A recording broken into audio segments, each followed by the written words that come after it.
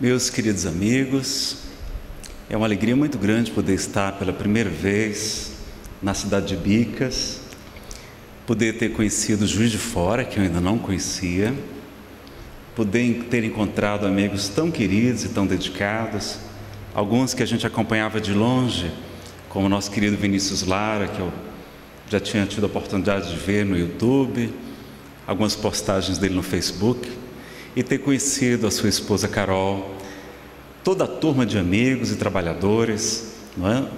o João Paulo, conheci também o Luciano Binhoto, também o Ricardo, conheci a Ana Carolina, a filha dele, que está aqui também nos ajudando na filmagem, a Délia, o Nazir, não é? tantos amigos que vieram prestigiar a Semana Espírita de Becas. A gente fica muito feliz com a união das casas espíritas, na divulgação da doutrina a que devo a minha vida. Eu teria me suicidado se não tivesse conhecido a doutrina dos espíritos. Quando eu era ateu, fui ateu durante 12 anos, e numa crise de depressão, numa quebra financeira, porque passou a empresa que minha família tinha, foi a luz do Consolador da doutrina espírita que nos manteve vivos e firmes e restituíram a alegria e a vontade de viver. Para a gente expressar um pouquinho a respeito da alegria que essa doutrina nos proporciona e da alegria de poder estar entre amigos tão dedicados, a Rita Ladeira, é? e tantos outros companheiros daqui, Juiz de Fora, o Armando Falcone, é? e toda a equipe da Fundação Espírita Allan Kardec. Amanhã estaremos no Centro Espírita Fé e Caridade, enfim, encontrando e fraternizando com amigos tão dedicados dessa terra tão abençoada que é a nossa querida Minas Gerais. Aliás, eu já sei por que Chico Xavier reencarnou em Minas. É porque aqui é bom demais só, não é? Aqui é muito bom e a gente fica muito feliz de encontrar esse povo tão amigo, tão querido, tão dedicado e que tem dado um serviço tão belo e tão bonito e importante para a doutrina que resgata o Evangelho de Jesus em toda a sua beleza. Então, nós vamos ler uma mensagem, é de Emmanuel, pela psicografia de Francisco Cândido Xavier. Ela está no livro Roteiro e também no livro Antologia Mediúnico do Natal, da editora da Federação Espírita Brasileira. Ela se chama Evangelho e Alegria.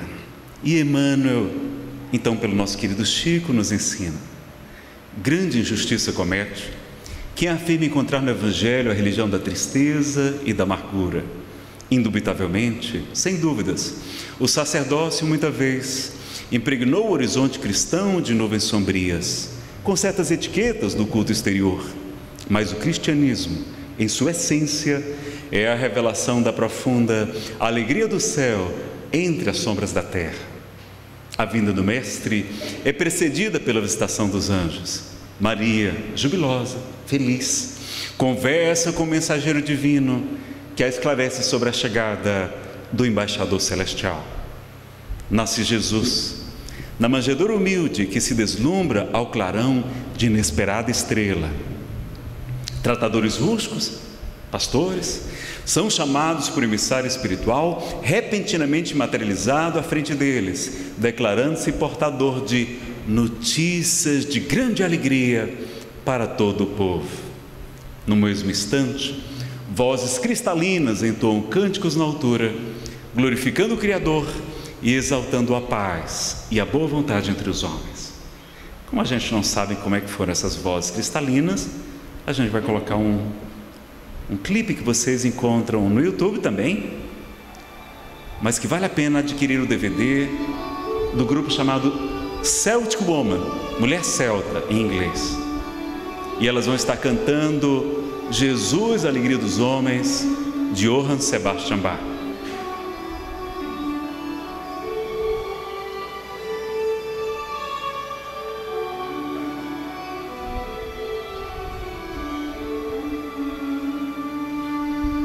Que a música também é mensagem de alegria, de contentamento.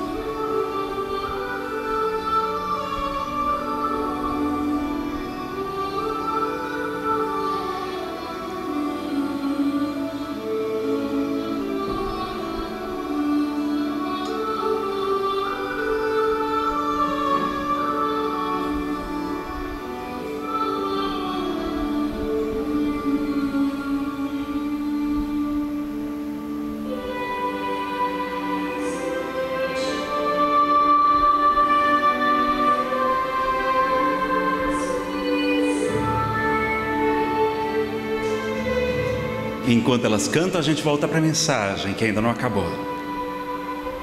Começa a reinar o contentamento e a esperança. Mais tarde, o mestre inicia o seu apostolado numa festa nupcial, no casamento, assinalando os júbilos, as alegrias da família. Como que percebendo limitação e estreiteza em qualquer templo de pedra para a sua palavra no mundo, o Senhor principia as suas pregações à beira do lago, em pleno santuário da natureza. Flores e pássaros, luz e perfume representam a moldura de sua doutrinação. Multidões ouvem-lhe a voz balsamizante. Doentes e aleijados tocam-se de infinitas consolações. Pobres e aflitos entreveem novos horizontes no futuro mulheres e crianças acompanham-no alegremente. O sermão da montanha é o hino das bem-aventuranças, suprimindo a aflição e o desespero. Por onde passa o divino amigo, estabelece-se o contentamento contagiante. No sermão da montanha, Jesus conseguiu trazer essa alegria, essa esperança para toda a humanidade. Em pleno campo, multiplica-se o pão destinado aos famintos. O tratamento dispensado pelo Mestre aos sofredores, considerados inúteis ou desprezíveis, cria novos padrões de confiança no mundo. Desdobra seu apostolado da Boa Nova, no clima da alegria perfeita. Cada criatura que registra as notas consoladoras do Evangelho começa a contemplar o mundo e a vida através de prisma, de uma ótica, de uma visão diferente. Surge-lhe a terra, por bendita escola de preparação espiritual, com serviço santificante para todos. Cada enfermo que se refaz para a saúde é veículo de bom ânimo para a comunidade inteira. Cada sofredor que se reconforta constitui edificação moral para a turba imensa. Madalena, que se engrandece no amor, é a beleza que renasce eterna, e Lázaro, que se ergue do sepulcro, é a vida triunfante que ressurge mortal. E ainda, do sol sangrento das lágrimas da cruz, o Senhor faz que flua o manancial da vida vitoriosa para o mundo inteiro, com o sol da ressurreição a irradiar-se para a humanidade, sustentando o crescimento espiritual na direção do século sem fim. Emmanuel, Francisco Canto Xavier, Evangelho Alegria. Celtic Woman, Jesus Alegria dos Homens, de Johann Sebastian Bach. Agora já vai ficar até mais fácil falar sobre as bem-aventuranças. Nós tivemos durante toda a semana amigos muito queridos, dedicados, comentando várias dessas bem-aventuranças, e nós hoje vamos ter a oportunidade de fazer um seminário com o tema Bem-aventurados os puros de coração. No Sermão da Montanha a gente lembra: Bem-aventurados os puros de coração, porque verão a Deus. Vamos ver, vamos fazer um pequeno estudo sobre esse assunto para que a gente possa aprofundar as nossas reflexões.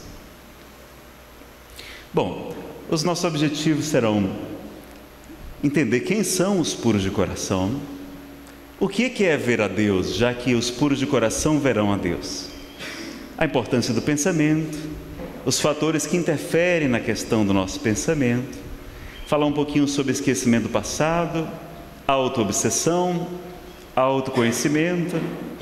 Se a gente puder avançar, a gente fala sobre auto-perdão e libertação. Não é? São 4h25 agora. Eu acho que daqui para meia-noite a gente consegue completar. Não é? A gente vai fazer um, um compacto então para poder abordar os principais temas. Aqui é a capa do Novo Testamento, do nosso querido Adoro Dutra Dias, né, mineiro, querido, que traduziu do grego, fazendo uma tradução literária, né? Está um pouquinho amarelado, mas eu acho que é o projetor que não está muito bem regulado. E vamos pegar alguns trechos do Sermão da Montanha. Vamos estudar um pouquinho aquele momento inesquecível que Jesus né, sobe um monte e, sentado sobre uma rocha, abre sua boca e fala para a multidão: Bem-aventurados os pobres em espírito, porque deles é o reino dos céus. Bem-aventurados os aflitos, porque eles serão consolados. Bem-aventurados os mansos, porque eles herdarão a terra. Bem-aventurados os que têm fome e sede de justiça, porque eles serão saciados. Bem-aventurados os misericordiosos, porque eles receberão misericórdia. Bem-aventurados os limpos de coração, porque eles verão a Deus. Bem-aventurados os pacificadores, porque eles serão chamados filhos de Deus. Bem-aventurados os perseguidos por causa da justiça, porque deles é o reino dos céus. Bem-aventurados sois vós, quando vos injuriarem e perseguirem, e mentindo, disserem todo mal contra vós por causa de mim. Alegrai-vos e regozijai-vos, porque grande é a vossa recompensa nos céus, pois assim perseguiram os profetas anteriores a vós. Bom, então nesse pequeno trecho nós temos as bem-aventuranças, o Sermão do Monte continua, é? nós estamos no capítulo 5 de Mateus, e vamos primeiro a alguns detalhes. O que significa a palavra bem-aventurados, pessoal? Vocês já sabem? O que significa bem-aventurados? Felizes. Quem aqui já sabia que bem-aventurado significa feliz? Levante a mão, por favor. Olha, somente 3,43% do grupo sabia. O Nazi está incluso, né? Entre outros ali. O Vinícius não escutou, ele está ali dentro. Ele levantou a mão também. a gente vive repetindo o sermão da montanha, não sabe nem o que significa. Então, o estudioso da doutrina espírita, ele também tem que ter essa cautela de estudar a etimologia das palavras, o seu significado, o texto e o contexto.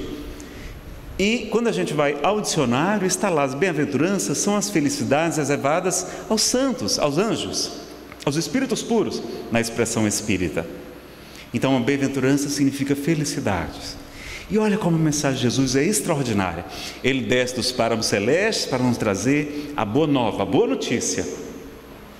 E vem falar de felicidades. Felizes os pobres de espírito, porque deles é o reino dos céus. Felizes os aflitos, porque eles serão consolados. Felizes os mansos, porque eles herdarão a terra. Felizes os que têm fome e sede de justiça, porque eles serão saciados. E ele prossegue falando de felicidades. A mensagem do Evangelho é de alegria, é de esperança, é de renovação e de felicidade. Então vejam, e tem um detalhe. O nosso orientador espiritual me perguntou, Nazareno, qual é a primeira bem-aventurança? É os pobres em espírito, ou pobres de espírito. O que, que significa pobres de espírito, pessoal? Os humildes. Está lá no Evangelho segundo o Espiritismo, Kardec analisa e fala que os pobres em espírito são os humildes, são os pobres em orgulho. E por que, que ela é a primeira bem-aventurança? É porque a humildade é a chave para muitas virtudes. E como nós vamos falar hoje sobre bem-aventurados os puros de coração, nós vamos ter que falar sobre a humildade também. A humildade e a simplicidade vai ser, vão ser os principais tópicos do nosso estudo. Não? É? Então, é a chave para muitas virtudes. A humildade, porque a gente vai se colocar na condição de aprendiz. O orgulhoso, no sentido espírita da palavra, porque a gente também usa aqui no Brasil, sobretudo, a palavra para orgulho no significado de satisfação. Então a gente ficar orgulhoso com o nosso filho que está indo bem na escola, a gente ter orgulho de ser brasileiro, de ser mineiro. Não há nenhum problema com a satisfação e a alegria. O orgulho ele só é prejudicial quando ele se torna então algo de supervalorização de si mesmo em detrimento dos outros. Quando a gente acha que o nosso filho é melhor do que os outros crianças da escola, aí já tem alguma coisa equivocada. O orgulhoso, então, ele é o dono da verdade, ele se acha melhor, se acha superior e o orgulho, ensina o Evangelho segundo o Espiritismo, é o pai de muitos vícios, a negação de quase todas as virtudes, a fonte de quase todos os males. O orgulho é o principal móvel, ou seja, motivo de quase todas as nossas ações. E por isso Jesus dedicou-se a combatê-lo como o principal obstáculo ao progresso. Principal obstáculo à nossa evolução espiritual. Por quê? Porque o orgulhoso ele não enxerga os seus defeitos. Ele não admite o que tem de errado nele. Está lá no livro dos médios, no item 228, esta obra extraordinária publicada por Allan Kardec. Vai dizer é, que entre as imperfeições morais humanas, que são tantas outras portas abertas para a influência dos maus espíritos, aqueles se utilizam com mais frequência, com mais facilidade, é o orgulho, porque é o defeito que a criatura menos reconhece, menos identifica em si mesma. Então é muito importante a gente estudar sobre o orgulho. E a humildade vem da palavra humus, que significa solo fértil, que está pronto para receber a semente e aprender, não é? Florescer e produzir muito fruto. Então, humildade vem dessa condição de abertura e não da condição de dono da verdade. A pessoa humilde também, ela reconhece então que traz muitas imperfeições morais, como os espíritos nos mostram, que nesse estágio evolutivo nós somos ainda muito atrapalhadinhos, né? somos crianças espiritualmente falando, não somos anjos ainda, estamos muito longe disso e vamos nos equivocar. E pela doutrina da reencarnação, nós sabemos que ainda temos várias vidas anteriores que muitas delas nós nos equivocamos. Prejudicamos nosso semelhante, então temos muitos reparos a realizar nesta vida, nas vidas vindouras. Então, o humilde ele sabe que tem muitos defeitos, que precisa se melhorar e que precisa trabalhar no bem. Olha que maravilha. Pronto.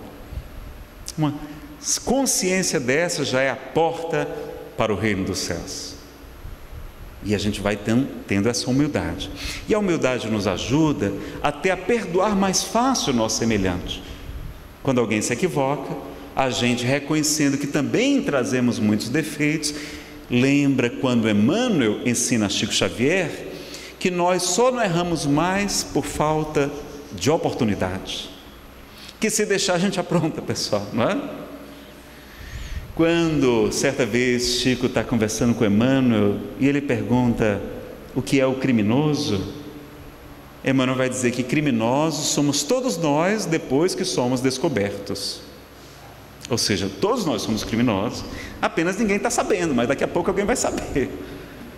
Como a gente sabe que no reino dos céus nada ficará oculto, tudo fica revelado. Os nossos pensamentos, então, né, eles se projetam, eles formam né, imagens que a gente vai ver no nosso estudo de hoje também. Então, temos o orgulho, a humildade e depois a gente vai falar um pouquinho sobre a simplicidade, tá certo? Mas é importante a gente compreender isso. Nazareno mais orgulhoso não é quem se preocupa muito com a aparência pessoal, não. Quem preocupa muito com a aparência pessoal é o vaidoso, né? A pessoa vaidosa, ela despende muitas horas do seu dia, não é com a aparência pessoal, com salões de beleza, com as academias, etc. Nada contra isso, mas todo excesso mostra que tem alguma coisa errada. Não é exatamente o orgulhoso, porque tem pessoas simples, por exemplo, lá no meu querido Ceará, eu fui conhecer a Academia Cearense de Letras e vi alguns poetas, alguns intelectuais, homens que estavam de bermudas, que estavam de camisetas, de chinelos, não é? E a gente imagina assim, ah, mas deve ser uma pessoa muito humilde. Lê do engano. Muitos materialistas, como eu já fui, com orgulho nas estrelas, ateus, não eram humildes. Então não é ser rico, não é ser pobre, não, não é a vestimenta, o reino de Deus não vem com aparência exterior, que a gente vai saber se alguém é orgulhosa ou é humilde. Aliás, o nosso querido expositor Alberto Almeida, que ele é médico, ele é também psicoterapeuta, ele diz que quando alguém chega ao seu consultório, se a pessoa vem com a roupa toda amarrotada, o cabelo desgrenhado, descuidada, ele pensa consigo: essa pessoa não está bem. Porque vestir-se adequadamente, se querer bem, é um sinal de equilíbrio, de bom senso. E Allan Kardec nos ensina, Camille Flammarion, era o bom senso encarnado. Quando a gente vê as roupas de Allan Kardec, as pinturas a óleo que nós temos dele, está sempre bem vestido. Dr. Adolfo Bezerra de Menezes Cavalcante, médico, vereador, deputado geral, empresário que foi, sempre bem vestido. Eurípides Bassanufo, o mineiro da cidade de Sacramento, sempre com terno de casimira, sapatos bem polidos e as moças da cidade doidas para casar com aquele jovem, de uma inteligência, de um amor e de uma capacidade extraordinários. Só que ele já era casado com a dama pobreza. Quando vemos o nosso querido Chico Xavier, que é o grande exemplo de humildade para todos nós, Chico estava sempre de terno, de gravata, sempre se apresentando da melhor maneira possível, não é? E quando ele vai usar certa vez a peruca, no filme belíssimo produzido, tem uma licença poética lá. Não era vaidade propriamente de Chico, ou se tinha, era muito pequena. E o Chico vai colocar a peruca, ele consulta Emmanuel a respeito. A humildade de Chico, sempre consultando o seu orientador espiritual. E Emmanuel vai dizer: Chico, você deve usar sim a peruca. Você não tem o direito de enfeiar o mundo. Olha. E a gente vai vê-lo então usando a peruca no pinga-fogo, é? na TV, aquela, aquela coisa é? tão, tão bonita, tão importante. E foi uma grande revolução. A, a simplicidade de Chico, a humildade, contando as suas dificuldades, suas mazelas, seus problemas, o seu medo de viajar de avião.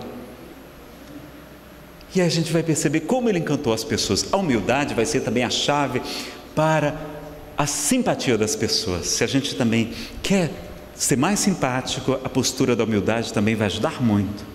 Quando ao contrário a gente é prepotente, não é presunçoso, quando a gente sabe mais do que os outros, se acha melhor do que o nosso semelhante, a gente acaba se afastando um pouquinho. Então é importante conhecer essa questão da humildade. A gente tem um seminário somente sobre o orgulho e suas máscaras e outro só sobre autoconhecimento e iluminação interior, quando a gente passa dois dias aprofundando essa questão. E Nazareno é vaidade. A vaidade, o primeiro significado da Wikipédia é aquela pessoa que se preocupa muito com a aparência pessoal. O segundo significado é aquela pessoa que se preocupa muito em agradar a todos. Essa pessoa é vaidosa. E eu me reconheci muito vaidoso porque eu tinha muita vontade de agradar a todas as pessoas. Eu sempre quis ser, entre aspas, bonzinho, sempre fazia tudo o que me pediam, mesmo sem ter condições de abraçar todas as tarefas, acumulava muitas pendências porque não sabia dizer não. E Jesus de Nazaré, o mestre querido, nos ensinava que o vosso dizer seja sim, sim, não, não. E a gente não sabe dizer não, porque muitas vezes não se ama, era o meu caso. Era sentimento de culpa de outras vidas. Como eu não me amava, porque não me perdoava, eu queria receber o amor das pessoas e fazer tudo para agradá-las. Quando uma pessoa criticava uma palestra, alguma coisa, eu ficava sofrendo muito com aquilo. Isso é vaidade. Porque nem Jesus conseguiu agradar a todos, não é? Mas eu pensava assim, não, o nome, pelo menos, Nazareno eu já tenho, né? Pode ser que eu consiga. Coitado do Nazareno, né? Então, como é bonito a gente ser diferente e a gente se respeitar, e como as pessoas diferentes nos ajudam, nos estimulam, trazem pontos de vistas, experiências que a gente não conhece. Como eu aprendi com o Vinícius e a Carol, a gente conversando no carro, ele falando da realidade, como é que são nos centros aqui, que ele frequenta, que ele participa, e eu falando que eu participo de uma casa espírita que é uma mega, giga, outra casa espírita.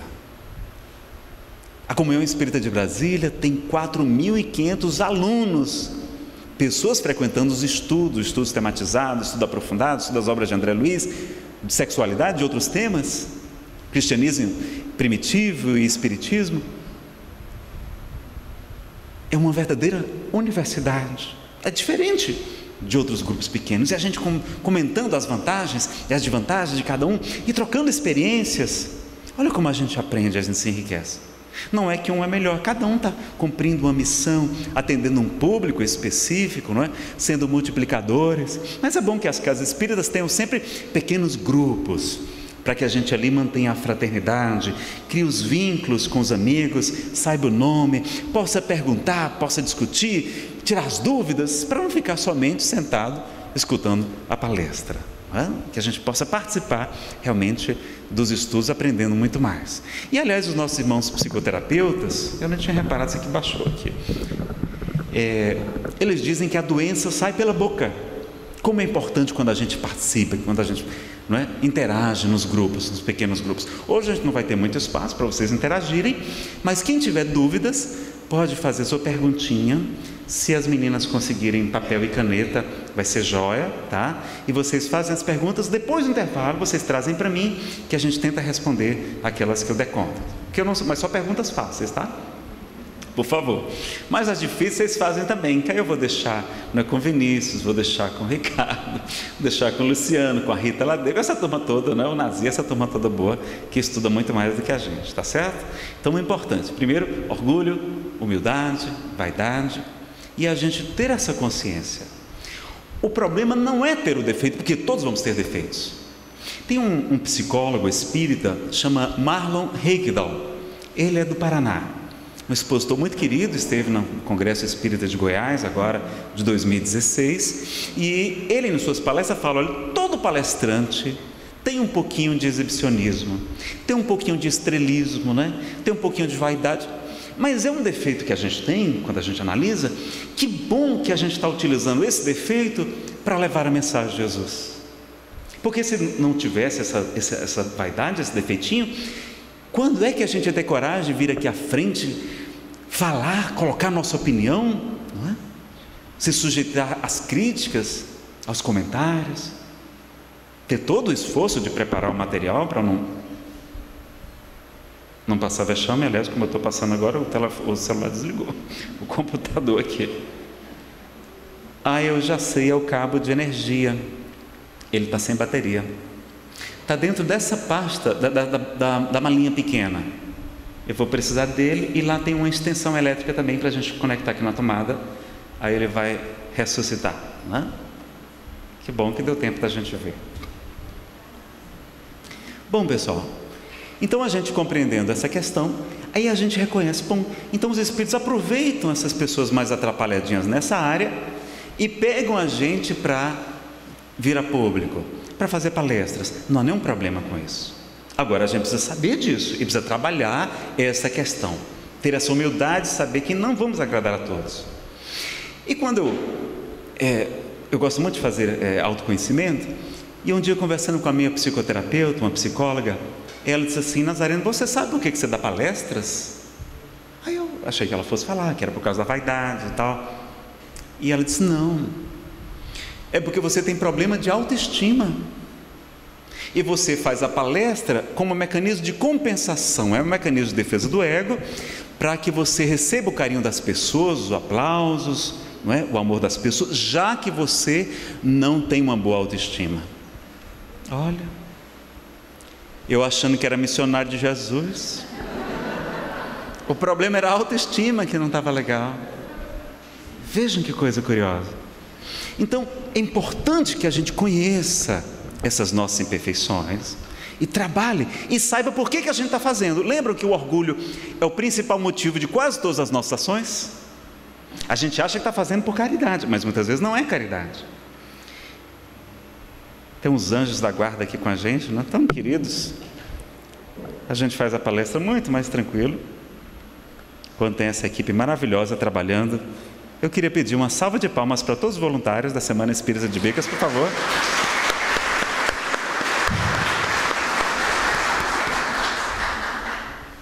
Sem eles, nada disso estaria acontecendo. Né? A gente faz a parte mais fácil, que é vir aqui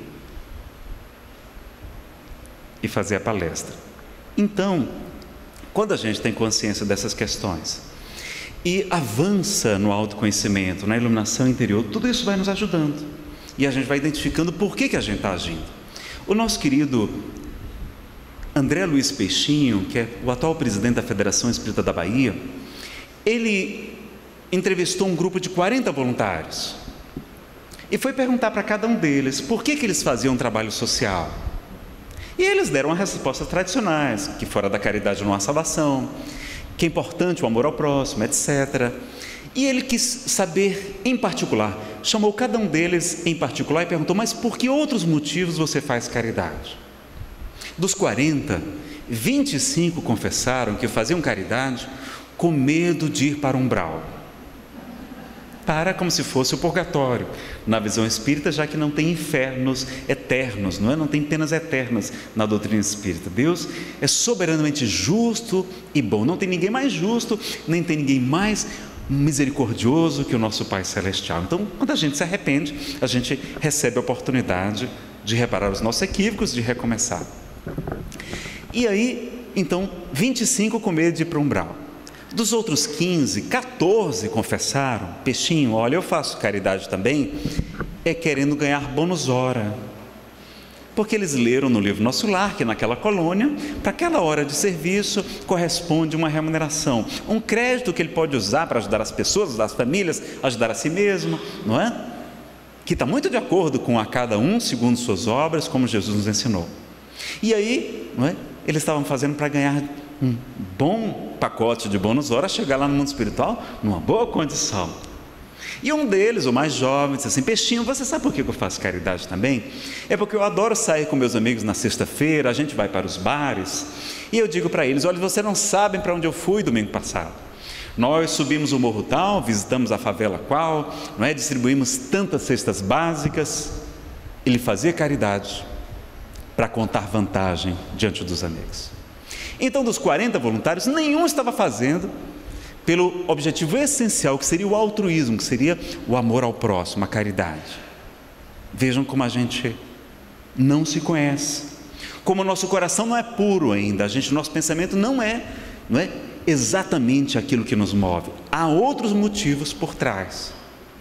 Então, Nazareno, então quer, pra gente, quer dizer que é para a gente parar o trabalho social? Eu não falei isso.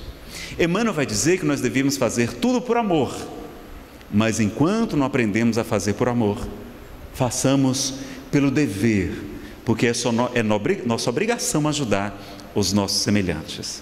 Então vejam como é que é um, um outro passo. Vamos começar fazendo por obrigação. A, a pouco e pouco a gente vai aprendendo a fazer por amor. Então é importante se autoconhecer, para a gente ter consciência então do que está por trás dos nossos atos, não é? Vamos ver avançar um pouquinho mais nos slides. O que é a pureza de coração? Bom, vocês lembram que em Mateus 7 também nós temos uma expressão de Jesus? Porque vês tu, pois, o argueiro, não é? A farpa, o cisco no olho do teu irmão e não vês a trave no teu olho.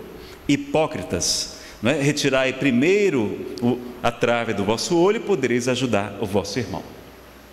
Em outra passagem, em Mateus 6, 22 a 23, ele vai dizer: Os olhos são a lâmpada do corpo. Portanto, se teus olhos forem bons, entre colchetes eu acrescentei ali sinceros, algumas traduções dizem sinceros, não dizem bons, tá? Dizem humildes também. Teu corpo será pleno de luz. Porém, se teus olhos forem maus ou maldosos, coloquei esse outro significado aqui, né? todo o corpo estará em absoluta escuridão.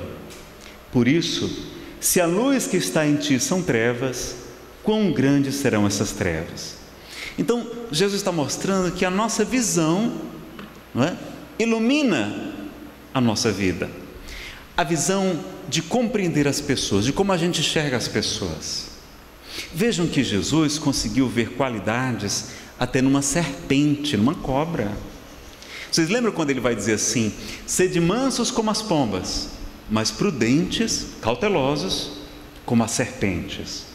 E Hermínio Miranda, acho que é no Evangelho Gnóstico de Tomé, ele comenta que as serpentes, se não fosse o seu veneno, e muitas cobras não têm veneno, elas seriam extremamente indefesas porque elas não têm braços, elas não têm pernas, elas não têm membros, elas têm que se arrastar pelo solo, elas se locomovem com dificuldade. E por isso elas são extremamente prudentes, elas não enxergam bem, não é? e elas calculam muito bem os seus movimentos, elas são extremamente cautelosas. Jesus consegue ver qualidade numa cobra, um animal que todo mundo detesta e a gente não consegue ver uma qualidade no nosso irmão. Então vejam que essa luz no olhar é isso, é a gente ter essa ter esses olhos de ver o que as pessoas têm de bom, o que cada um tem de bom. Joana de Ângeles vai dizer que antes da gente condenar alguém, os espíritos superiores, eles analisam todos os pontos de vista, as várias encarnações anteriores daquele espírito, a sua trajetória evolutiva, o ambiente em que ele nasceu, a sua, não é, a, como é que era o convívio social, os seus amigos, seus mestres, seus professores, os seus motivos, as suas mágoas, investigam todos os pontos de vista daquele espírito antes de proceder qualquer julgamento. E ela convida a gente a fazer isso também. São tantas, tantas coisas a fazer que a gente fica cansado, a gente desiste de condenar a pessoa. Quando a gente vê que todos nós temos defeitos. Né? Então, esse olhar bom, as pessoas boas, normalmente elas são ingênuas. Por isso que Jesus chama a atenção da gente. Né? Olha, sede mansos como as pombas, mas prudentes, cuidadosos como as serpentes. E, e, e, a gente vai ver que as pessoas boas, elas, elas costumam ser enganadas com facilidade, elas não enxergam a maldade. Se você apresentar um bandido a outro bandido, ele reconhece na hora. Já começa até a tramar juntos um próximo assalto. Se você apresentar um malandro para outro malandro, ele diz assim: Eita, Nazareno, esse cara é malandro. Ele sabe, ele sente, ele enxerga muito facilmente o que o outro tem. É a projeção que a psicologia ensina hoje, que Jesus há dois mil anos já ensinava, que é o argueiro que cobre o nosso. Ou seja, ele já falava da projeção, esse mecanismo também de defesa do ego, que a gente usa para poder não é, viver com mais facilidade. A gente enxerga no outro o que existe ainda dentro de nós. Então, a pureza vai ser nesse sentido também, e vai ser a pureza no sentido dos pensamentos, vai ser a pureza no sentido da elevação moral daquele espírito, como é que ele se relaciona com o seu semelhante, como é que ele está diante dos outros. Porque o verdadeiramente puro, ele sequer pensa o mal. A gente vai ver aqui no Evangelho segundo o Espiritismo. Vamos avançar. Bom, o que é verão a Deus? Veja que está no futuro, não é? Eles não veem ainda os puros de coração ou os limpos de coração, é a mesma coisa. Eles verão, mas eles não veem ainda, eles verão um dia. Para ver o que é, que é necessário a gente fazer, não é necessário a gente se aproximar do objeto que a gente quer enxergar? Então, para ver a Deus, a gente tem que se aproximar do nosso Pai. Como é que a gente se aproxima de Deus, que é perfeito? Desenvolvendo a perfeição. É? Então, através da evolução, a gente vai se aproximando do Pai. Então, a gente deve buscar a lei do progresso, deve buscar a melhoria a cada dia. E para ver é necessário ter uma visão limpa, uma visão clara. E para ver o que é bom, é necessário enxergar o bem. Então, para a gente poder enxergar o nosso Pai, que é toda bondade, a gente precisa enxergar o bem em toda parte. Jesus viu qualidades boas até nas serpentes. Lá no Templo de Delfos, em 650 anos de Cristo, nós já temos a inscrição que tornou, inclusive, Sócrates muito conhecido por divulgá-la. Homem, conhece-te a ti mesmo e conhecerás os deuses e o universo. E a gente sabe da importância do autoconhecimento, como está na questão 909 do Livro dos Espíritos. Kardec pergunta: qual o meio prático mais eficaz de o um homem melhorar-se nesta vida e de resistir aos maus arrastamentos. E Santo Agostinho, em espírito, lhe responde: Um filósofo da vossa antiguidade já vos disse: Conhece-te a ti mesmo. Então, através daquela revisão diária e de várias outras ferramentas que a gente pode utilizar na psicologia, tem várias delas. No conhecimento SUFI, não é trazido por Gurdjieff ao Ocidente, nós temos o Enneagrama. Nós temos outras ferramentas, como o Perfor de Eva Ferracos.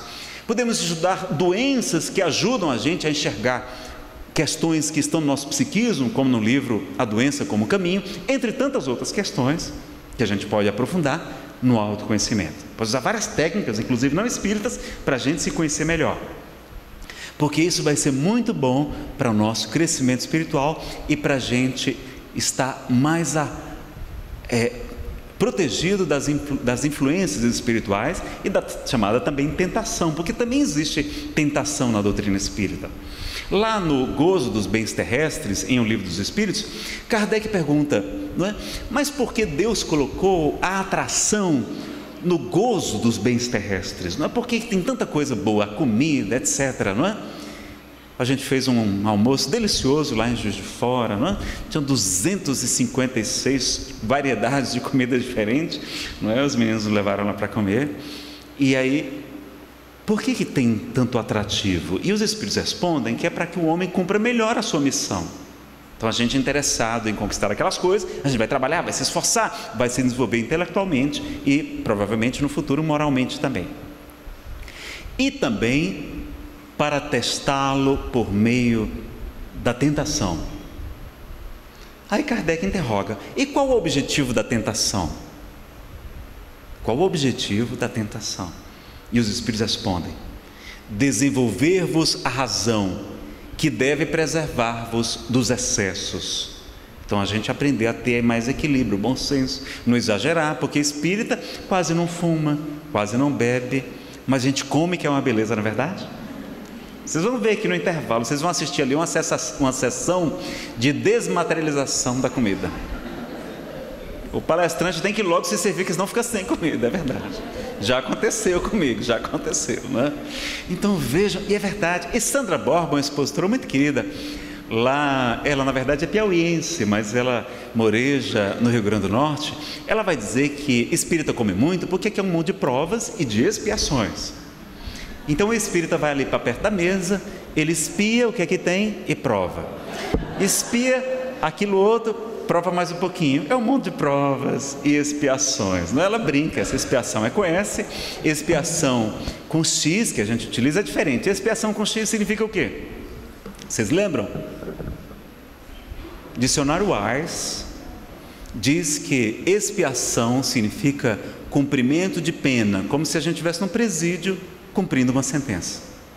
Vai dizer também que é sinônimo de purificação e depuração, significados mais adequados para a doutrina espírita. Mas vejam que alguns espíritos comparam a terra a um presídio, lá no Evangelho segundo o Espiritismo, quando falam da perda prematura de pessoas amadas. Também no livro Seu Inferno vão dizer que a terra já é uma espécie de purgatório então que a gente não tem nem que ter, ter, ter, medo de, de umbral, de purgatório, não, porque nós já estamos num purgatório. A Terra já é uma. Só que é um, é um purgatório tão maravilhoso que a gente nem acredita, não é? Mas estamos aqui nos purificando. Purgar significa purificar, limpar. Se houver tempo, a gente vai tirar o medo de vocês irem para umbral. Vocês têm medo de ir para umbral ou não? Tem não? Ou é porque já estão conformados que vão? Às vezes o problema é esse, né? Vocês me lembrem no final para a gente perder o medo de Pumbral, tá certo? Quem perseverar até o fim, quem ficar até o fim do seminário, vai ser salvo do medo de umbral, tá bom? Vamos avançar. Tem 256 slides para a gente ver hoje aqui, tá? Nós estamos ainda nos 10 primeiros. Tem uma historinha com Chico Xavier e a revista. Olha o que, que era alguém que é puro de coração. Olha a doçura de Chico Xavier. Um dia, um jovem, não é, tentando não é, incomodá-lo, importuná-lo ou prová-lo, Chico estava sentado e o jovem pega uma revista de mulheres nuas, de mulheres despidas, e coloca na frente de Chico Xavier com as páginas abertas, onde havia uma moça sem roupas. E qual é a atitude de Chico? Chico fica ali surpreso, começa a folhear a revista, surpreso. Quando ele termina, com muita tranquilidade, né, como todo bom mineiro, ele termina, fecha a revista e devolve assim: É, meu filho, tudo que Deus faz é lindo, não é? Tudo que Deus faz é lindo. Olha como é que alguém que está em paz consigo mesmo, com as suas questões, e que não enxerga a maldade nas coisas, via as moças e dizia: Olha, como Deus é maravilhoso, como a criação é belíssima, porque o nosso Pai é maravilhoso. Já se fosse a gente, não, né? O que, é que eu fazer? Eu pensar da gente já fica preocupado. Isso é vaidade. O que é que vão pensar da gente, não é? E aí a gente já ia ficar preocupado, porque a gente tem muito medo da rejeição das pessoas, muito medo de não ser amado. A gente vai falar sobre isso antes do intervalo, tá bom? Bom, vamos lá para o Evangelho segundo o Espiritismo. Essa é a capa da tradução do Evandro Noleto Bezerra, mas a gente vai utilizar a do Guilherme Ribeiro, que é o que tinha em PDF na internet. Né? Então, ele vai falar sobre simplicidade e pureza de coração, pecado por pensamento, adultério, a verdadeira pureza, mãos não lavadas, sobre os escândalos, se a vossa mão é motivo de escândalo, cortai-a. Temos psicografias, não é? Que são instruções dos espíritos. Em cada capítulo nós temos mensagens dos espíritos que Kardec organizou, falando sobre deixar vir a minhas criancinhas, bem-aventurados os que têm fechados os olhos, não é? Bom, aí a gente trouxe aqui a citação, não vai dar tempo da gente ler toda, não é? Mas ele repete em Mateus e em seguida vai dizer que apresentaram-lhe então algumas crianças, a fim de que ele as tocasse. Como seus discípulos afastassem com palavras ásperas as que lhe apresentavam, Jesus, vendo isso, zangou-se. Nazareno Jesus se zangava, zangava, pessoal. É a energia agressiva é algo útil que temos dentro de nós. Nós podemos fazer três coisas com a nossa energia agressiva podemos agredir quem nos ofende, que nunca vale a pena. Nós podemos engolir aquela mágoa e vamos adoecer, vamos ter AVCs, infarto, é? derrames, gastrite, esofagite, uma série dessas doenças que muitas vezes são ressentimento mal digerido, ou podemos canalizar a energia agressiva para coisas positivas, para determinação, para garra, para coragem. Então nós podemos utilizar a energia da raiva a nosso favor nos dando força até de trabalho. Dizem que Chico Xavier canalizava a sua energia agressiva para o trabalho no bem. Então, olha que coisa interessante. Então, Jesus tinha sim energia agressiva, claro, precisa, um espírito precisa ter coragem. Quando a gente fala que Jesus é o meigo, rabi da Galileia, isso é parcialmente verdade. Ele era meigo com os pecadores, com as pessoas simples, com as pessoas humildes. Aí ele era sempre generoso. Diante da mulher adulta, o que é que ele fala? Mulher, onde estão aqueles que te condenavam? Eles se foram, Senhor.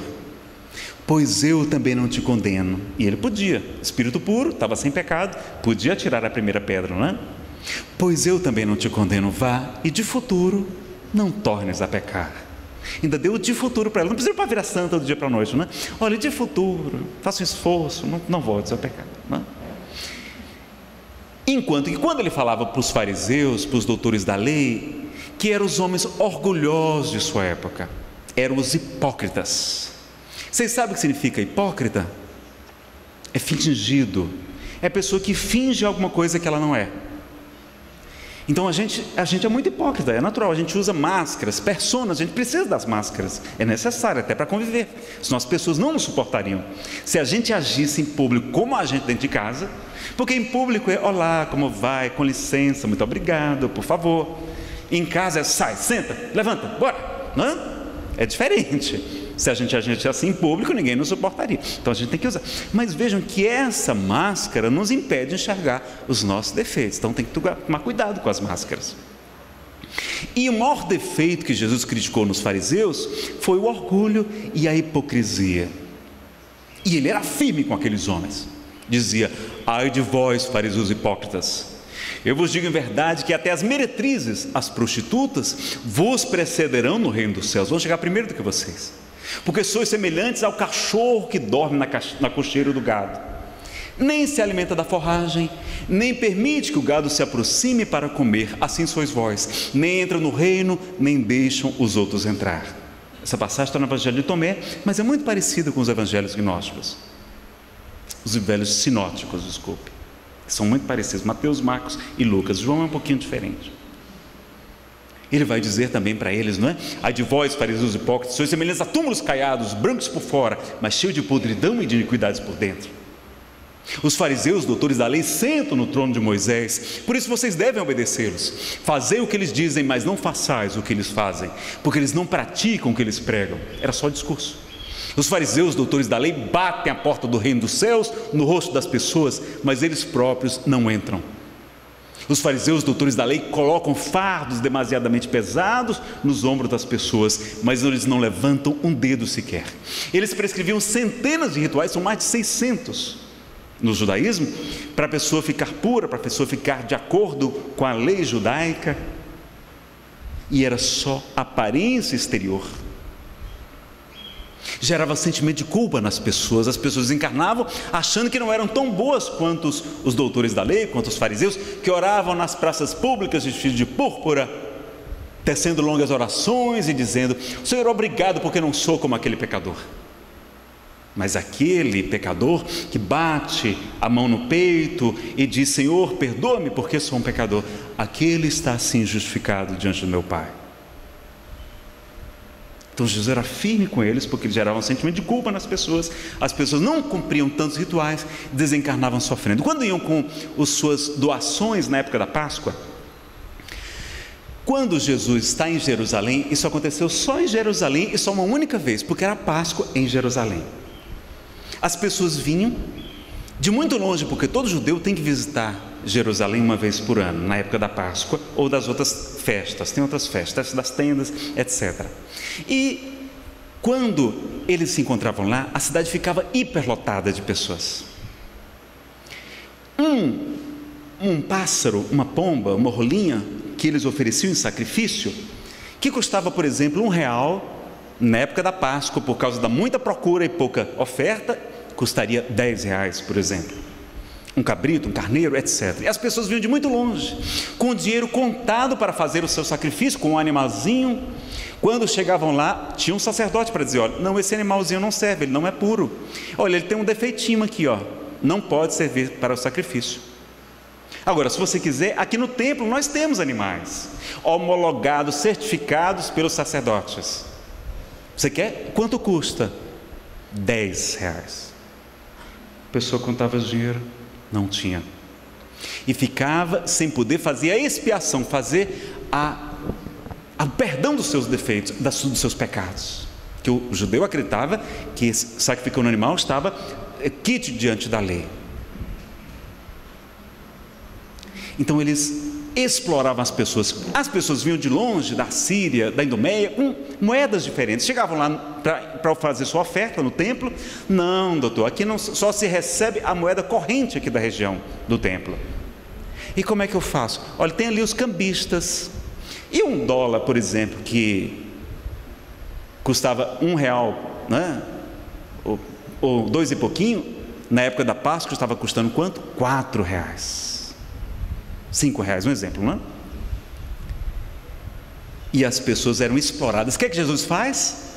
Vai com firmeza, com energia agressiva diante daqueles homens, não machuca ninguém, mas derruba as mesas, tira os animais com um chicote, um chicote apropriado para afastar os animais, e vai dizer: Minha casa de oração será conhecida por todas as nações, e fizeste delas um covil de ladrões. Covil é de, de, de feras, não é? Covil de raposas.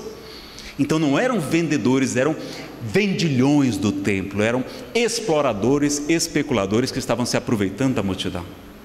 Então Jesus tinha também energia agressiva e ele era muito firme muito corajoso, enfrentava aqueles homens mais poderosos da sua época, alertando-os a respeito da hipocrisia. Vai ser duro com eles em algumas passagens. Raça de víboras, até quando vos suportarei? Geração incrédula e pervertida, então Jesus chamava a nossa atenção também. E isso era amor. Então vejam que a gente precisa conhecer os dois discursos completamente diferentes de Jesus, quando ele falava aos humildes e quando ele falava aos orgulhosos, aos hipócritas que precisavam de um remédio amargo assim. E ali a gente compreende, não é? porque acontecia. Então, nas outras sinagogas ele não reclama disso, ele faz isso na época da Páscoa em Jerusalém, tá certo? Isso provocou muita, muita, muita raiva nos fariseus doutores da lei que tentavam matá-lo por causa disso. Então, ele zangou-se e lhes disse: Deixai que venham a mim as criancinhas, e não as impeçais, porquanto o reino dos céus é para aqueles que se assemelham. Digo-vos em verdade que aquele que não receber o reino de Deus como uma criança, nele não entrará. E depois de abraçar, abençoas impondo-lhes as mãos. Então Jesus mostra, é? traz o símbolo da criança, que nós sabemos que uma criança é um espírito já antigo, um espírito é, velho, idoso, às vezes mais do que a gente adulto. Mas ali, durante aqueles primeiros anos da infância, não é? a providência divina coloca todas as crianças, ficam lindas. Já, já viram criança feia? Não existe criança feia. Toda criancinha pequena tem aquele brilho nos olhos, aquela alegria, aquela jovialidade, não é? Que encanta todos nós, para que os pais amem os seus filhos e lhe ministrem os cuidados necessários. Só mais tarde, depois dos sete anos, quando a reencarnação está se completando mais, como ensina Emmanuel, não é? nós vamos ter, então, a gente vai ver aquela criancinha que era bem boazinha, de repente ela muda. Nossa, esse menino era tão boazinho, agora parece que virou um cão. não é? Vira um capetinho, menino. Mas não é, é porque ele está se mostrando como ele realmente é, como nós, atrapalhadinhos mesmo. Mas durante a infância a gente sabe que a criança demonstra essa ingenuidade, essa bondade, aquela vontade de aprender, aquela simplicidade, aquela espontaneidade. Que às vezes a gente perde, não é? A espontaneidade por conta de muitas regras, muitas convenções sociais. Quando a, a doutrina espírita é o Evangelho com toda a sua beleza, como é bonito o trabalho também da espontaneidade. Então, sobretudo nas casas maiores, a gente tem que tomar o cuidado para não tolher também a espontaneidade e o carinho das pessoas. É? Participei ontem de um evangelho lá com Vinícius e seus amigos. É? Como foi bom, as pessoas muito tranquilas, é? participando a, in, a integração com o mundo espiritual ali de maneira tão simples, tão tranquila, como a gente conversa com um amigo. Não é? Sem aquela coisa que a gente faz que espírito parece que é coisa do outro mundo, não é? Não, são nossos amigos, nossos irmãos, não é verdade?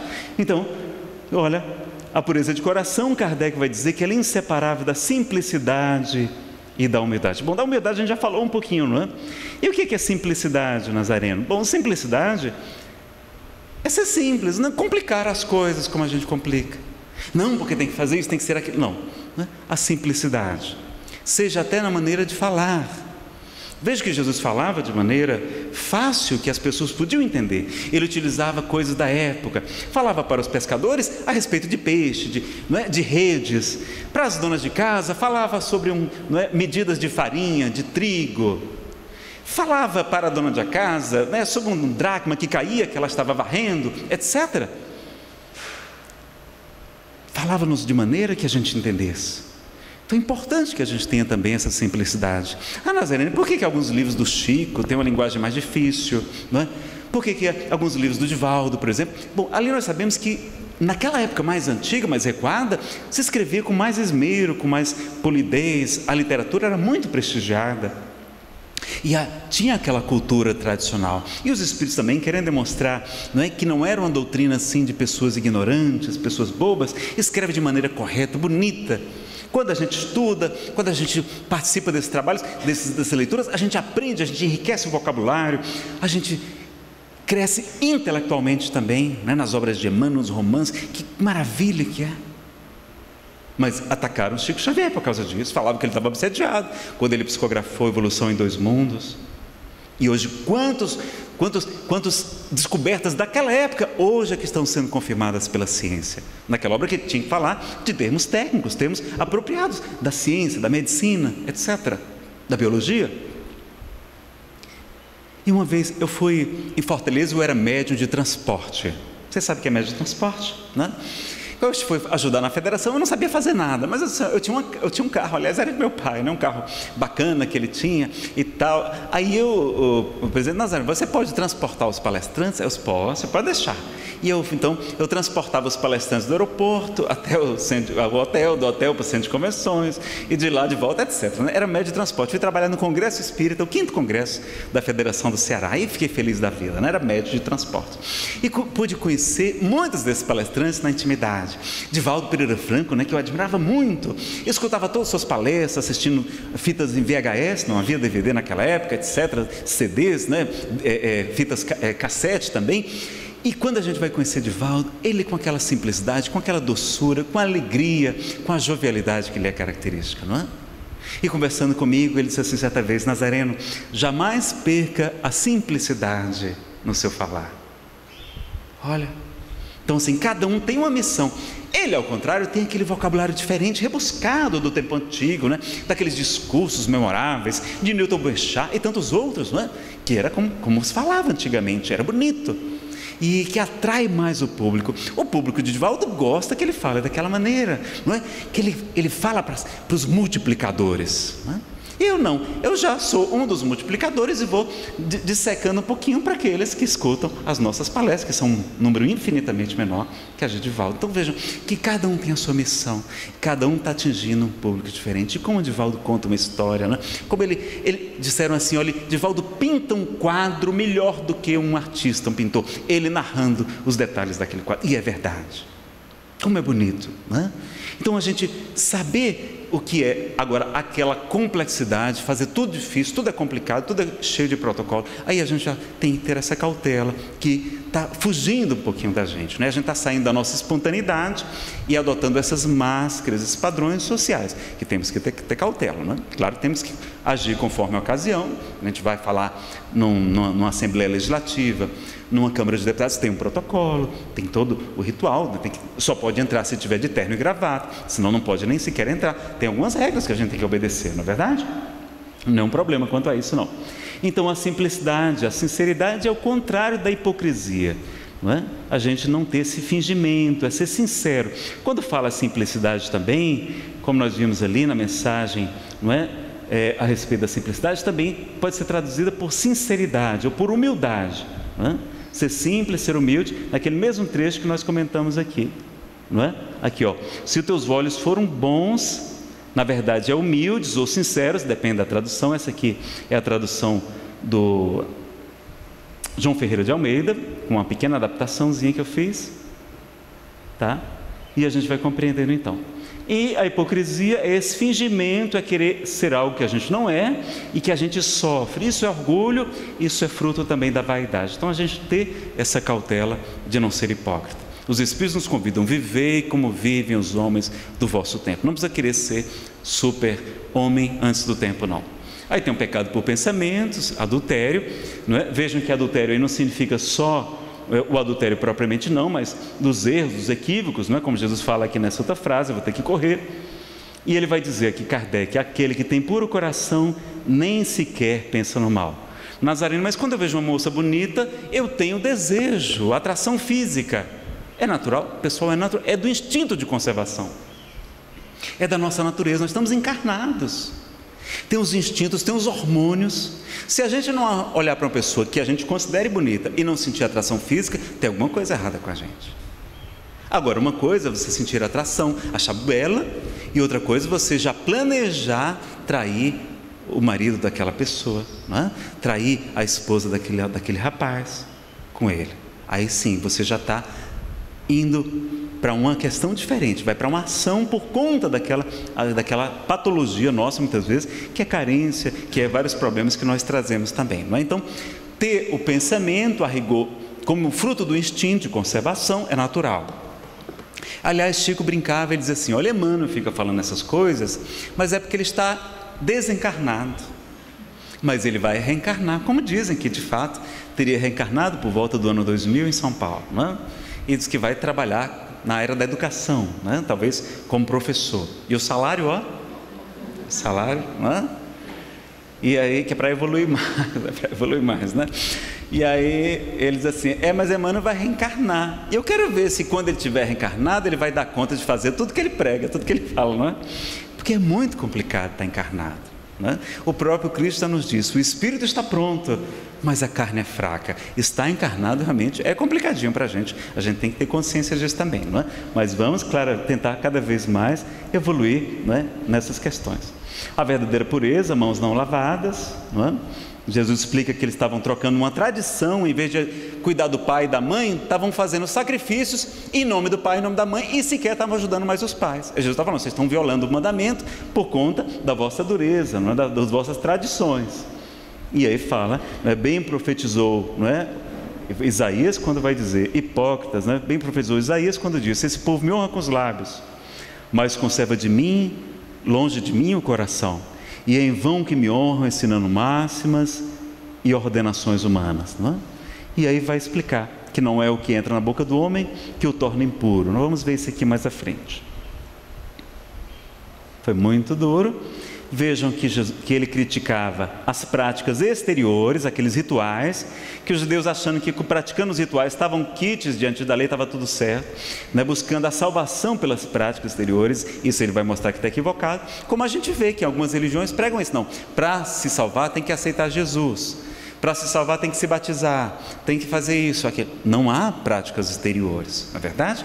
Vocês sabem como é que é a salvação no Espiritismo? Deixa eu procurar aqui a salvação no Espiritismo.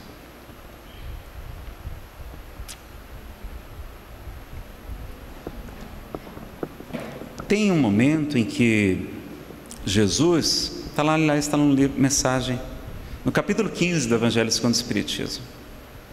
Vai, cadê? Será que eu passei? Passei. Não, está aqui. Está aqui. Lá tem uma, uma pergunta: o que deve fazer o espírito para ser salvo? Vocês lembram? Ele vai dizer que no final dos tempos o filho do homem retornará em toda a sua glória, em todo o seu esplendor, passará à esquerda os bodes e à direita as ovelhas.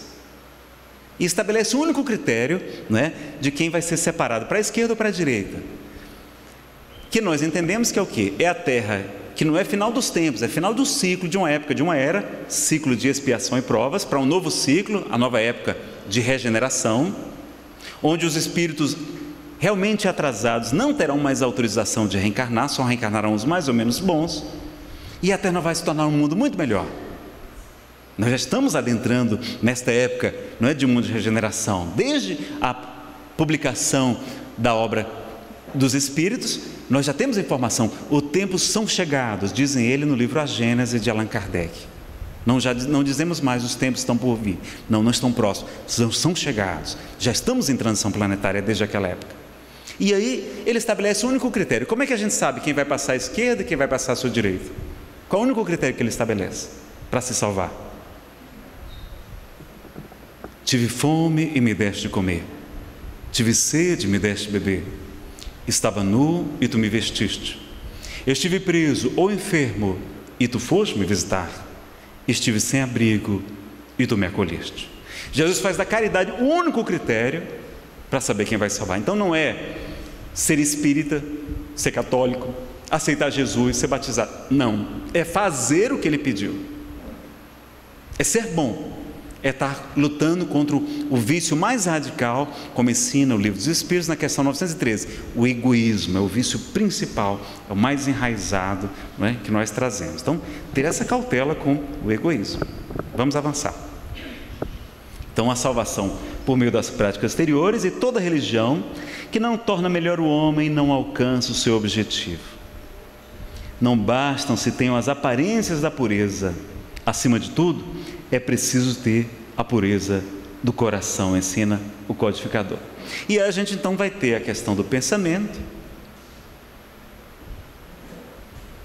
fotografia e telegrafia do pensamento, Kardec, em Obras Postas, nos ensina que a gente individualiza o fluido cósmico, que existem criações mentais que demonstram o que pensamos. Não é? Então, o assassino já projeta aquele planejamento como se fossem imagens, e os espíritos têm acesso àquela informação. Não é? No reino de Deus, nada ficará oculto. E como aqueles nossos pensamentos influenciam a nossa coletividade. Kardec vai dizer que se nós soubéssemos como é importante o nosso pensamento, como influencia o planeta, nós seríamos muito mais cuidadosos. Então, muito cuidado nessa época de pessimismo generalizado, de crise. Que crise o Brasil sempre teve várias, não é? Vamos pensar positivo, vamos levar o bom ânimo, a alegria, a esperança, para que as pessoas não cometam suicídios, não diminuam ainda mais os empregos, a produção, etc. Tá certo? Ter esse cuidado. No livro Nos Domínios da Mediunidade mostra, inclusive, que tem as formas pensamento que nós criamos com o nosso poder mental não é uma mulher casada, enxerga, né, é, cria um forma pensamento da, da amante que está traindo-a com seu marido não é, na sua própria casa, André Luiz vai, receber, vai compreender isso. A própria colônia espiritual Nosso Lar é criada por pensamentos de espíritos superiores. E no livro Pensamento e Vontade, Ernesto Bozano vai dizer que os pensamentos assumem formas, segundo alguns sensitivos da metapsíquica de preocupação são filamentos espirais, como naquelas revistas em quadrinhos, os gibis, não? eles não fazem aquele desenhozinho quando a gente está preocupado, não? Então, mesma coisa. De ódio são projéteis, são dardos mentais. Raiva são pensamentos que se assemelham a sapicos de lama pardacenta. De cobiça e inveja são como garras envolvendo o objeto de desejo a pessoa desejada. Já os pensamentos de amor e paz assumem formas extremamente belas e expressivas, nos ensina então Ernesto Bozan. Então, a gente vai ter toda a importância do pensamento, não? É? já sabemos que não como, nós, não, como, Jesus nos fala, não está escrito vós sois Deus, né? está lá no Salmo 82, vós sois Deus e filhos do Altíssimo, todos vós, e a gente vai saber toda a importância do pensamento, a gente tem uma palestra só sobre o poder do pensamento, da vontade da fé, né, que é, são esses slides que a gente começou a, come a comentar. Não vai dar tempo da gente aprofundar muito, mas a gente vai avançar depois do segundo módulo. Vamos só falar um pouquinho sobre a questão do puro de coração. Já vimos aqui que nós temos um problema mais sério, que é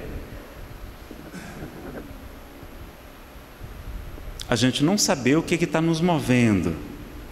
E Allan Kardec, lá no livro A Gênese, vai nos dizer que existe uma principal causa das nossas imperfeições morais. Tem um motivo que gera as nossas imperfeições morais que a gente fica tentando esconder, tentando, não é, camuflar. Quem sabe que qual é a principal causa das nossas imperfeições morais?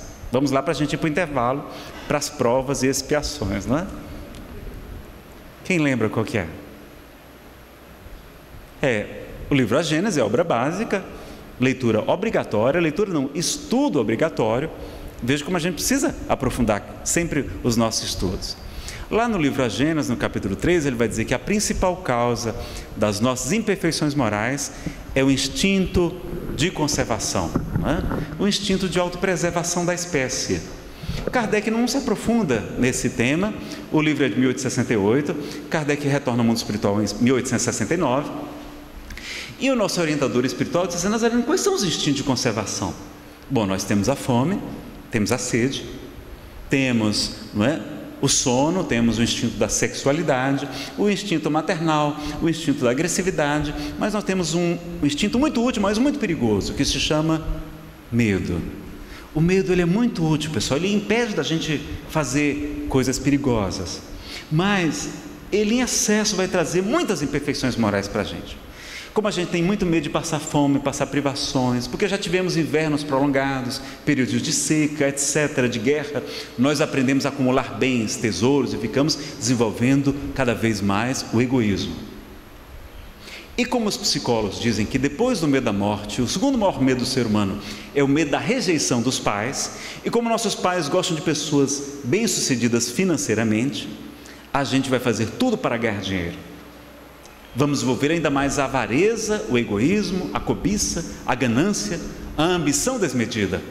Vamos furtar, roubar, sonegar, corromper para receber o dinheiro, para ter o aplauso dos pais e da sociedade, porque a gente tem medo de não ser amado, de não ser aceito. Ciúme é amor? Não, ciúme é problema de autoestima e a pessoa tem medo de perder aquela pessoa que ama. A inveja não é aquela pessoa que brilha muito, ela nos ofusca, ela é uma ameaça para a nossa autoestima. Elas fazem achar que a gente não é tão bonito. Por exemplo, quando a gente vê aquelas modelos, aquelas atrizes de Hollywood, aquelas mulheres lindas com cabelos maravilhosos, olhos encantadores, sorrisos contagiantes, corpos esculturais, elas são ricas, são belas, são jovens, são talentosas, elas são uma ameaça para a gente. Porque elas fazem a gente achar que a gente é baixinho, que a gente é feinho, que a gente está gordinho, porque para terminar de arrasar com a gente, elas são terrivelmente magras, não é verdade? É concorrência desleal com a gente. A gente, ah, mas a fulana está usando drogas. Ah, o marido dela está traindo. A gente começa a falar mal, por quê? Porque fazendo diminuir, aparentemente a gente cresce. A Divaldo tem esse defeito, né? Porque parece que a gente cresceu. Aí a gente vai também gerar, além da inveja, a maledicência, fruto do medo. Lá no livro Nosso Lar, quando a Segunda Grande Guerra Mundial está sendo anunciada, os espíritos se reúnem e vão dizer: André Luiz, agora vamos dar sobre o medo, sobre o terror. E um dia a humanidade vai saber a importância de estudarmos sobre essa matéria. Está lá em O Livro dos Espíritos, Kardec pergunta por que tão comumente os maus é que predominam, por que, que o mundo está assim, cheio de problemas? A gente pode explicar e os espíritos superiores respondem: pela fraqueza dos bons. Os bons são tímidos. A palavra tímida em francês é a mesma palavra para covarde. Timidez é defeito, não é virtude. O tímido é orgulhoso, tem medo de colocar sua opinião porque tem medo das críticas. Não sabe lidar com as críticas. E aí, não é? A gente vai ter o medo, vamos ser omissos, vamos ser covardes, vamos ser coniventes com o mal mas quando os bons quiserem, eles dominarão, dizem os espíritos superiores. Mas nós somos tímidos. Nós temos ansiedade. O que é ansiedade, pessoal? Quem aqui já teve gastrite, esofagite, alguma dessas ites da vida, levante a mão, por favor, além do palestrante. Quando eu levanto a mão, o pessoal fica mais solidário, levanta também. Né? Eu já percebi isso. O que é ansiedade? Não é o medo do futuro, do que pode acontecer? E normalmente não acontecem, mais de 90% das nossas preocupações não acontecem. E a gente lembra de o livro dos Espíritos falando que existe uma programação reencarnatória, que nós, antes de reencarnarmos, nós vimos as provas que nós iríamos passar aqui na Terra e nós as aceitamos.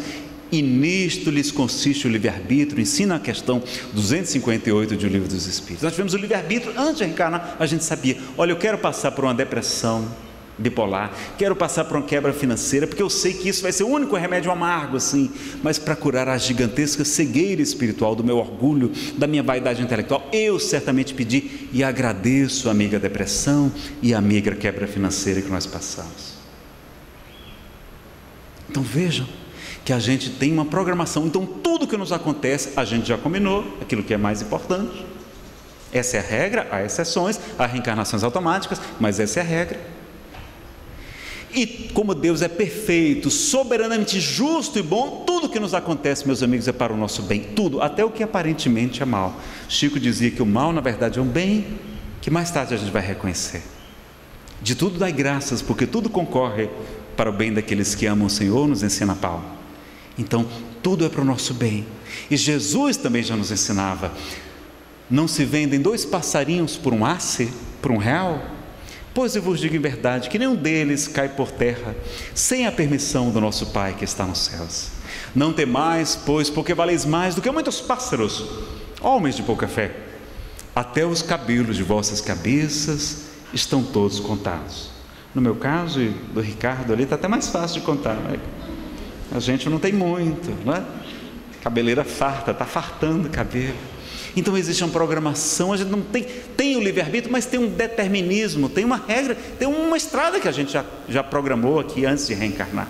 Então, a gente pode ficar muito tranquilo, não precisamos ter ansiedade, estresse, síndrome do pânico, não precisamos disso. E aí a gente compreende. Então, medo por trás de tudo isso, medo do futuro, não é? medo vai estar por trás da fraude dos médios, da mistificação, uma série de outros problemas.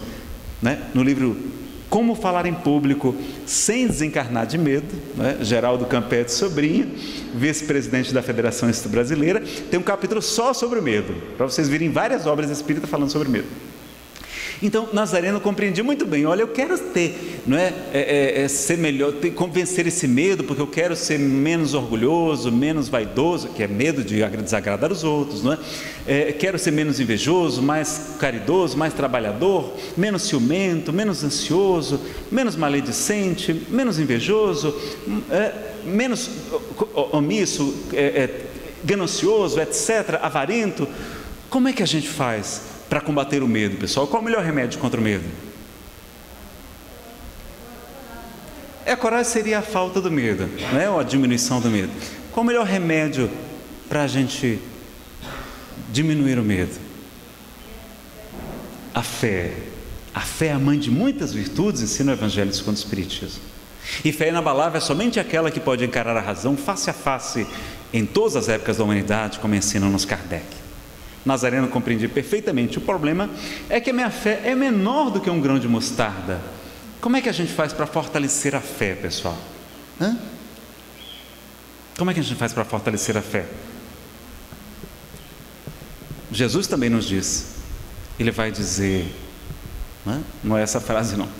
Ele vai dizer assim: Conhecereis a verdade, e a verdade vos libertará. Então, é o conhecimento das leis que regem o universo. Quem somos nós? De onde viemos? Para onde vamos? Por que sofremos? Que a doutrina espírita explica como ninguém. Ele não falou conhecereis a Bíblia, conhecereis a Torá, conhecereis o Evangelho, a Boa Nova. Não, ele falou conhecereis a verdade. É para buscar a verdade na ciência, na filosofia, na religião, na doutrina espírita. E o autoconhecimento, que é o meu prático mais eficaz de o homem melhorar-se nesta vida, de resistir aos maus arrastamentos. E a aprender a ter o coração puro. Através do autoconhecimento, a gente vai poder separar: olha, isso aqui é da minha vaidade, isso aqui é do meu problema de autoestima, isso aqui é meu problema disso. E a gente vai poder enxergar com mais clareza, vai ter a pureza de coração. Então, a importância do conhecimento. Por isso que todas as casas espíritas sérias, além das palestras, que também são estudo, tem os grupos de estudo para a gente aprofundar, para a gente tirar as dúvidas, para poder conversar, não é? interagir e criar laços de amor entre os nossos né, entre os nossos amigos que frequentam a casa espírita. A importância do estudo, como nos convida Jesus. É? Antes de ir para o intervalo, vou colocar um pequeno vídeo. Quando a gente achar Nazareno, está difícil não é, combater o, os maus pensamentos, está difícil combater todas essas nossas imperfeições. Como é que a gente faz? Se puderem apagar as luzes, pode ser que melhore um pouquinho. Tem esse vídeo no YouTube. O rapaz chama-se Tony Melendes. O violão é especial para mim. Este era do meu pai. Tomei emprestado dele para brincar no começo, mas foi algo que me levou a poder fazer música. Se chama Não Me Diga Que Não Podes. Eu sou Tony Melendes. Nasci na Nicarágua, porém vivi quase toda a minha vida nos Estados Unidos. Sou cantor e guitarrista. Vim para os Estados Unidos porque era um menino sem braços. A medicina da Nicarágua não era tão avançada e o remédio talidomida foi dado para minha mãe quando ela estava grávida de mim e me deixou assim. Nasci assim, sem os braços. Quando pequeno, não entendia que não tinha os braços. Mas logo as crianças gritavam quando me viam: Olha, o menino sem braços! E eu me doía, doía muito o coração, doía muito. Quando jovem, eu aprendi a fazer tudo com os pés. E eu queria ajudar a mim mesmo e ajudar as pessoas e a minha família. Tenho dois irmãos, meu irmão trabalha comigo. Meu pai já morreu, mas mamãe ainda é viva. O pai e minha mãe se sacrificaram muito para criar seus filhos. Meu pai deixou seu país para cuidar de mim e dizia: Você tem que tratar-se. E eu sempre sonhava, eu sempre sonhava em casar, mas as jovens se assustavam e diziam: Um rapaz sem os braços. Porém, um dia eu conheci uma jovem belíssima, chama-se Leia, é a minha esposa. Desejávamos uma família e, como não podíamos ter filhos, tivemos que adotá-los. Fomos a El Salvador e adotamos uma menina, e na Nicarágua adotamos um menino. A música sempre esteve no nosso íntimo. Desde pequenino eu já cantava e papai tocava violão e mamãe cantava. Sou certo que recebi esse talento, esse dom. E que eu sempre queria ser normal para tocar violão também. E na violão era diferente, eu praticava seis a sete horas com a música. Começou a fluir e fluir como música de verdade. Seis a sete horas por dia ele treinava, com os pés. Deus me deu força de vontade, Deus me deu a minha família, Deus me deu a música. Com a música eu me sinto bem conectado com meu Deus. Isso me ajudou a receber e eu cantava de coração. Algumas pessoas me perguntavam, Tony, por que você tem-se tão inteiro? E eu respondo, porque tenho essas coisas, porque tenho a minha vida, porque tenho a minha família, família preciosa, porque tenho um coração feliz que quer cantar, quer dançar e quer viver a vida. E eu agradeço ao meu Deus porque me fez assim. E aos olhos de Deus, eu sou inteiro. Eu sou inteiro aos olhos de Deus. En ti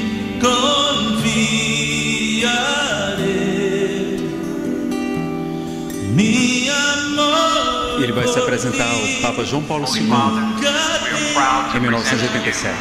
Tony Melendez. Santo Padre, estamos apresentando Tony Menezes.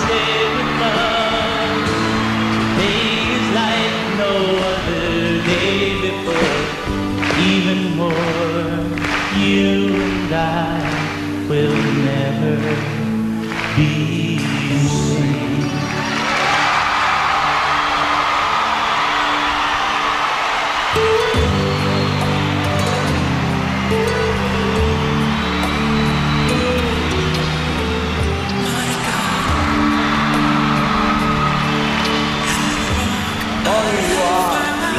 Truly a courageous young man. Tony, você é verdadeiramente um jovem corajoso. Você está trazendo esperança para todos nós. Meu desejo para você é que continue giving this hope levando esperança para todas as pessoas. Deus está sempre na minha vida. Nesse momento é como se ele dissesse: Tony, você tem que ir trabalhar, tem que cantar, tem que me ajudar, tem que ser meus pés e também minhas mãos, viajar e cantar pelo mundo. Eu digo a uma pessoa como você: tens os braços, as pernas, tens tudo, tem tudo, e dizem: não posso, não consigo. Pode sim, você pode. Dizem-me, Tony, você é um milagre. E eu sempre digo: quando batem as mãos, Quando batem as mãos, quando levantam as mãos, quando levantam as mãos, isso, isso para mim é um milagre. Por favor, não me digam que não pode. Não me digam que não pode. Porque podem sim fazer muito e muito mais. Levantem-se e digam: Eu quero, eu posso, eu vou mover-te para frente. Tem o mundo inteiro que está só esperando você dizer sim.